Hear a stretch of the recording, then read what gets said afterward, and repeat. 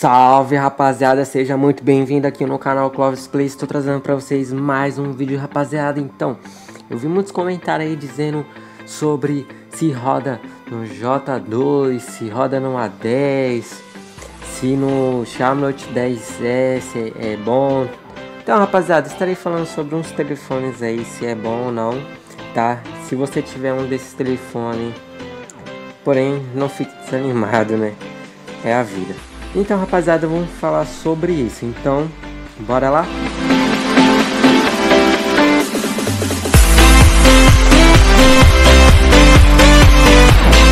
Então, rapaziada, estou aqui com o meu Skyline, né? Você pode ver. Mas antes aqui eu vou escolher uma pista.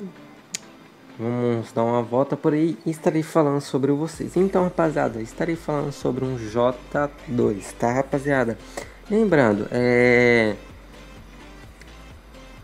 o J é o J2 pode aí que eu vou colocar aí no canto aí o J2 aí sobre as configurações. Ele é um quad core, tá? Ele é 4 core e 1.3 GHz de velocidade e 1 GB de RAM.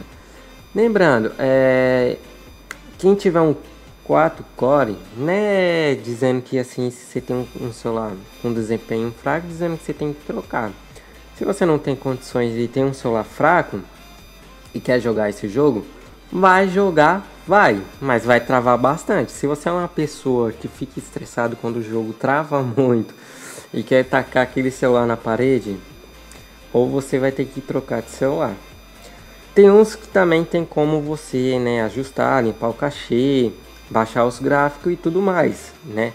Mas dependendo como que eu, eu falo, é um encomendado para jogar legal aqui no Gaba é um celular de 2 GHz de velocidade com um processador de 8 core, né?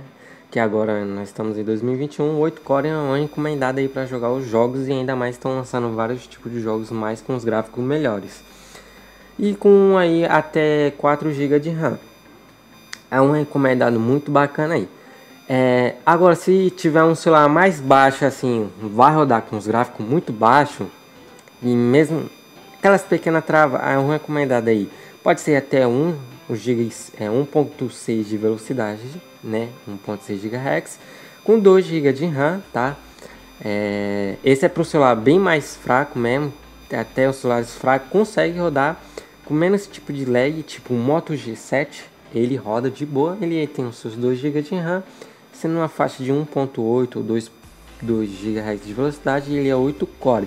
Lembrando, não tem que ficar só pelo RAM, mas sim pelo é, o processador do celular, tá? Tem que ser os dois combinados. Se tiver muito RAM e não tiver processador, não adianta nada, tá, rapaziada? Eu vejo muita gente que compara mais RAM. Ah, o meu tem 4 de RAM. Ah, o meu tem 2. Mas o seu processador tem, é mais forte que o dele, entendeu? Mais ou menos assim. É, celulares que tem essa faixa aí de 1.6, 2 de RAM ou sendo 8 core vai rodar tranquilo aí com as configurações baixas e com uns 30 frames, 28 frames. É, vai travar, vai travar não tanto quanto um 4 core. É, e pode esquentar também, né? Pode dar uma temperatura de esquentura aí dependendo do celular, tá, rapaziada? É, lembrando aí que eu tenho um celular aqui eu já fiz uns testes aí, você pode ver um A01, né? Aí tem um vídeo que eu postei no canal falando sobre o A01. Ele é 2 GB de RAM, tá? Ele é 8 core, não é 4 core, ele é 8 core. Se eu não me engano, ele é 1.6, esse é 1.8 por aí de velocidade de processador. E ele rodou super bem com os gráficos todo no baixo e rodou os 30 frames.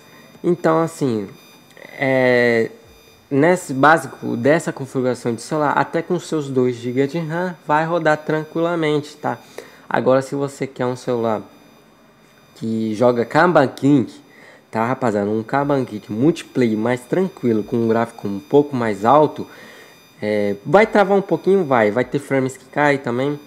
É, seriam encomendados os 2 GB de velocidade, tá? 2.0 de velocidade ou até 1.8 de velocidade sendo aí na faixa de 4 de RAM, tá? Essa aí é para quem quer um gráfico muito mais alto, gráfico no alto, 2, é, 2 GHz de velocidade, 4 de RAM, tá? Um processador aí muito intermediário aí vai rodar tranquilo no celular, tá? É, não sei dizer se vai rodar 60 frames, pode até colocar no gráfico no máximo, é, mas não vai rodar 100% dos 60 frames, vai ter uns pequenos travamentos, sim, vai ter uns travamentos, tá rapaziada? É, se não me engano, o Samsung A10 também, é, ele roda é, se colocar tudo no gráfico máximo, ele deve rodar os 30 frames, com os gráficos tudo no baixo. Vai travar, vai travar. Geralmente é, nem pode ser tanto seu celular assim para otimização do jogo, né? Que conforme vai aumentando as atualizações. Tem muita gente que não entende. É, fala que, tipo assim, é a mais, tem que trocar o celular só por causa de um jogo. Se você é fã do Kaba de multiplayer, rapaziada, se você é muito fã se reclama tanto do celular, se faz de tudo, limpa o cachê e não adianta nada, sinto muito, vai ter que trocar o seu celular. Ah, mas não quero trocar meu celular por causa de um jogo. Então continua com o mesmo celular, tá rapaziada? Então essa é a minha opinião e já fiz alguns testes do celular, tá? É, não tô dizendo para vocês trocar, se troca é, se vocês quiserem, né? Se você é uma pessoa muito fã mesmo do Kaban, que só quer jogar só nele e quer trocar por causa desse jogo, Aí você vai pelas informações que eu falei. Se não, continua mesmo com o celular. Se para você não faz diferença.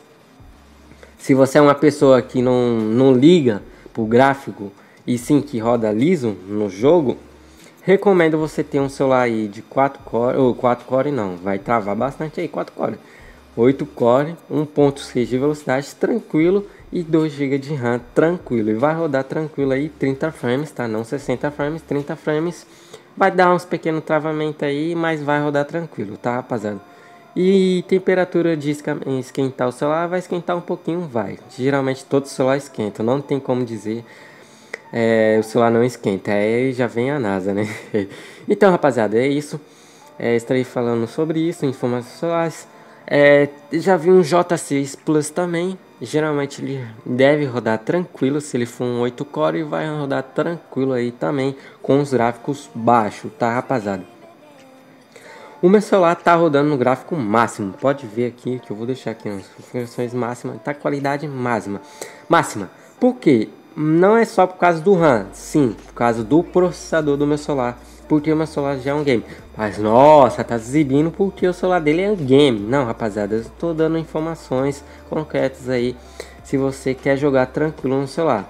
Então vamos dizer, baseado aí. É, o meu jogo tá rodando, tá? Eu estou gravando, tô fazendo tudo ao mesmo tempo, tá, rapaziada? E pode ver que não tá travando por causa do processador. Só que meu processador não é Snapdragon, ele já é um processador Mali, já é um GT6 tá? É, e é com 6G, é, 6G RAM, então já é um diferenciado, então ele já suporta o gráfico máximo, tá rapaziada? Vamos dizer que o memory de velocidade seria de 2.0 GHz com 8 core e 4 de RAM, o recomendado para você jogar o gráfico alto, né? Prova é, dependendo aí sentido as configurações do celular, tá? E o ano, né?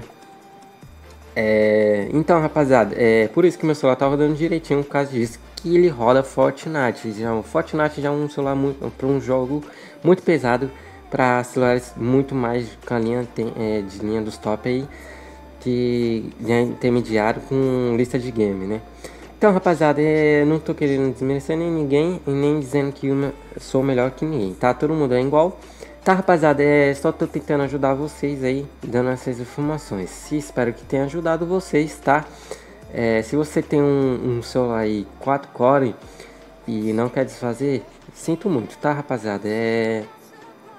Geralmente o ano vai passando e vai chegando novas atualizações. Com essas novas atualizações, vai acabando é, deixando o, o nossos celulares é, travando, né?